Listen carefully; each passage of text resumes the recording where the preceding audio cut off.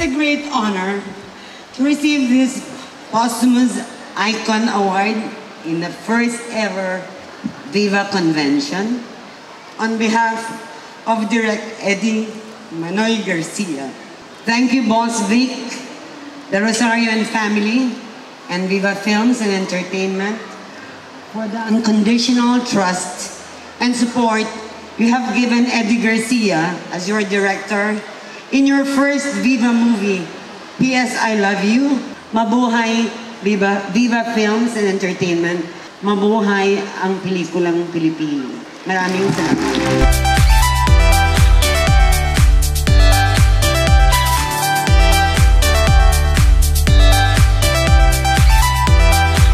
Congratulations po to my Home Viva family for the success of the very first Viva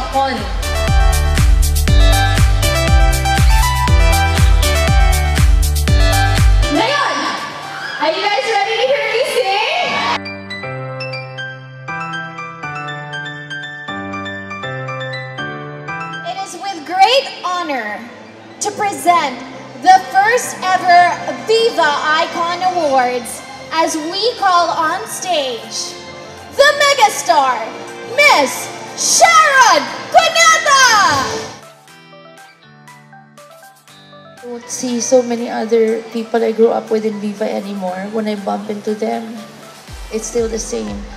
And in and backstage kanina, when this whole family joined I couldn't help but really cry because it felt like family all over again. Congratulations, Viva, on your first Viva Con. Congratulations on the millions of successes. Thank you for your love, your trust. Most of all, what will stay with me is thank you for treating me like family. Thank you, and I love you very much. Thank you, Viva, my family. Thank you so much. Thank you, everybody.